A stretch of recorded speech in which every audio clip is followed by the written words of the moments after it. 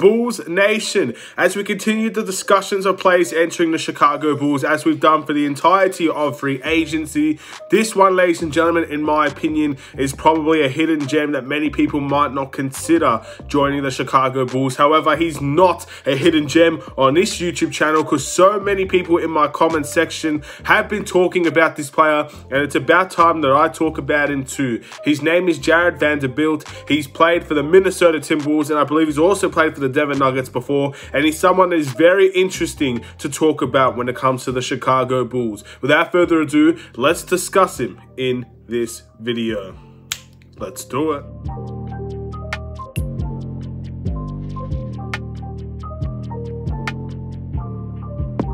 What's going on everybody? It's the Aidan Sports Show and welcome back to another video. Today we've got a Chicago Bulls related video referring to Jarred Vanderbilt, played for the Minnesota Timberwolves this year. At the end of the day, is still a very young upcoming talent and someone that many people would consider bringing in to the Chicago Bulls team at this point in time. He has a lot of positives to his games and he does have some negatives that we will be discussing in this video and I'll give my final results or my final prediction of what I would like to see with Jarred Vanderbilt. But before we get started, please like and subscribe to the Aidan Sports Show YouTube channel. Turn notifications on and let me know in the comments below your thoughts about Jarred Vanderbilt and what he could potentially be on the Chicago Bulls, as well as what he could be throughout the entirety of his career, because he's a very interesting player to say the least.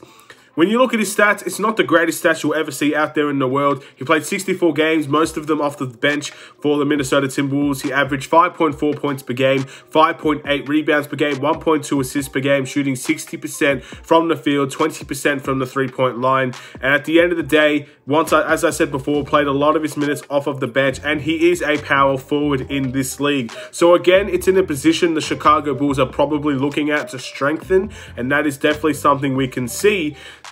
as we are linked with a lot, with a lot of power forwards, Paul Millsap being the main one at the moment. But Jarred Vanderbilt is a very interesting player. I believe he's a restricted free agent. I believe in order to acquire him, we would have to do a sign and trade, or maybe we can just sign him up straight away. But at the end of the day, with the Chicago Bulls, this is definitely a player that is not a guarantee to join here. At the end of the day, maybe Minnesota Timberwolves are seeking a chance to bring him in long term once again, because he is a very young upcoming player. And the Minnesota Timberwolves fans love this guy because of what he brings on the floor. What type of player is he?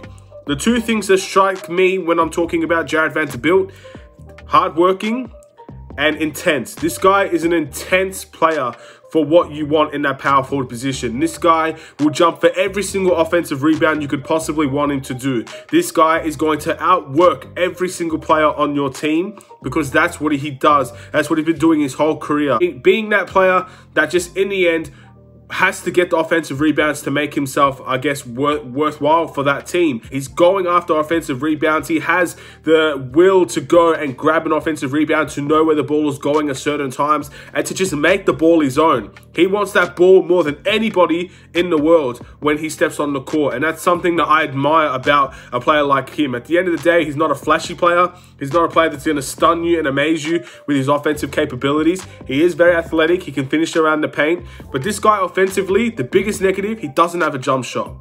This guy can't shoot. Again, that 60% from the field may fool you because a lot of it's in the paint. But this guy, as a jump shot player, you're not going to get that from him. He's not going to be that guy for us that's going to be an incredible shot taker for the Chicago Bulls. But he's definitely going to be the guy that fits the system of our bench. As I said before, he is a fantastic offensive rebounder. He's a fantastic rebounder in general. He wants that ball more than anybody. And he's going to be a player that can finish in the paint and can finish with athleticism. Many people see him as a power forward. And I definitely see him as a power forward for the Chicago Bulls as well. But it would not be surprising if we could see this guy as a center.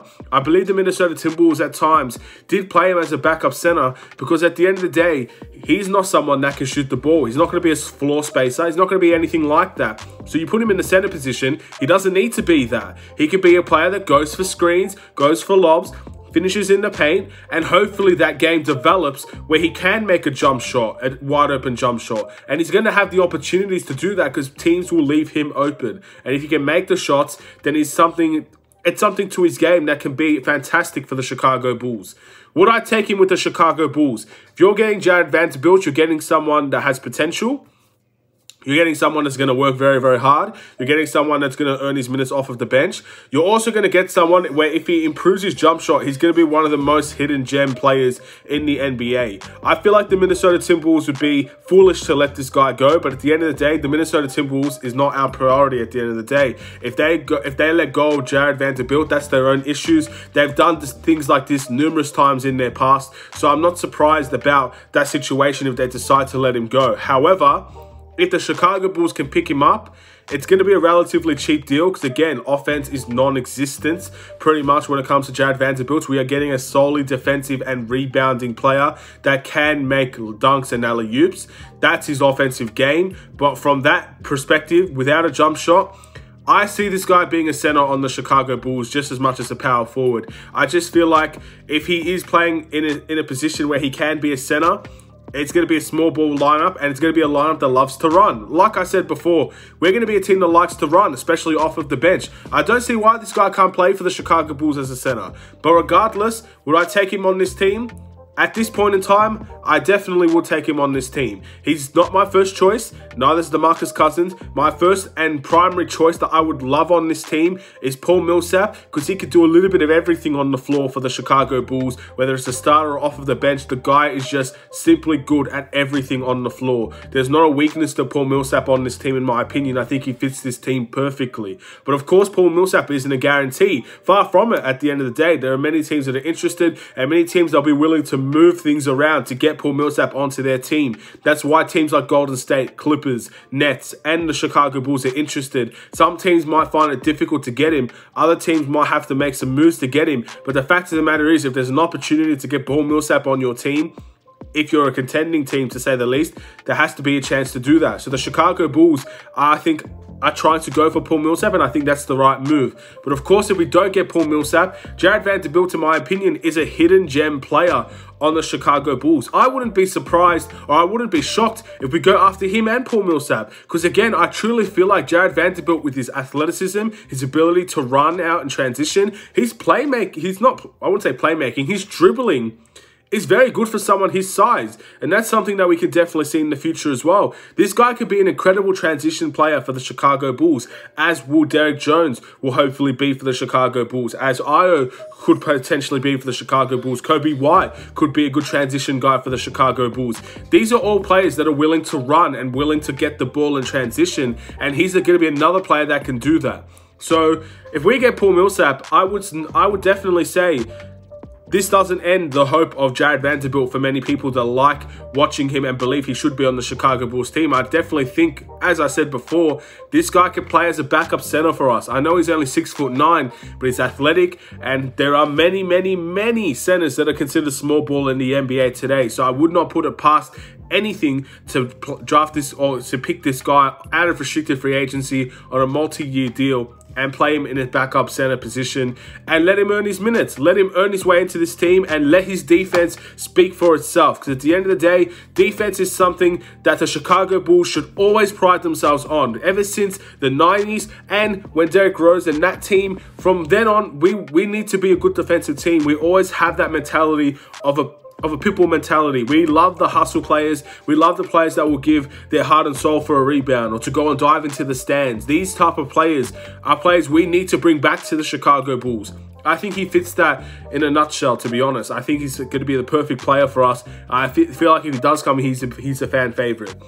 My guess is there's it's a wide open field at the moment. I don't see the Timberwolves being a team that would necessarily be willing to give, give him away, but also they're probably a team that would probably want him back as well. He's the type of player where if someone overpays or someone pays beyond what the Timberwolves are willing to, they would let him go because at the end of the day, he's not a top priority for them. But for the team like the Chicago Bulls, that may be one piece away from potentially being a good team to a championship competing team. I'm not saying Jarred Vanderbilt is that guy that can make us that, but if we are one move away from being what we want to be in this league, you bring a player like Jarred Vanderbilt in if he's the player, and we go and get that done because there's an opportunity there. So yes, I would take him in a nutshell. That's basically how I, I see it. I see him as a, as a player that we are working for potential. I see him as a player that's going to be very hardworking and outwork every single player on the court. And I also feel like if we could get his offensive game going a little bit, then he's going to be a great pickup for the Chicago Bulls. But at this point in time, Paul Millsap is still my top priority. But I'd love to see maybe both of these guys play for the Chicago Bulls. I don't know if that's possible or not, but that's something I would love to consider if that was to be the case. Um, but yeah, I see that unlikely as well. But we'll see what happens. Thank you guys for watching. Please like and subscribe if you're new. Very interesting player. He's a player that's definitely intrigued me. And again, if you don't watch Timberwolves games, many people might not know who this player is or don't know much about him. I recommend go watching highlights. Um, and I think you'll see it for yourself, pretty much. I mean, I have watched some Timberwolves games, of course. They're a very fun offensive team to watch. I, I think overall they're not a great team, but they do have some good offensive talents there. D'Angelo Russell, Karl-Anthony Towns, uh, even I'm a big fan of Ricky Rubio, so sometimes I do watch their games and I watch how they play. And Jarred Vanderbilt is someone I did watch before. So if you don't know much about him, go watch his highlights, go watch his defense.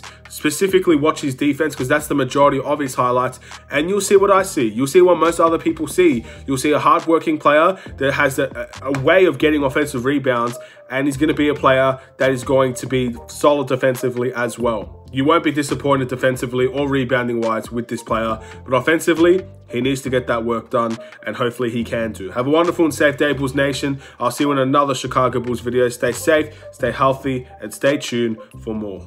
Take care and peace.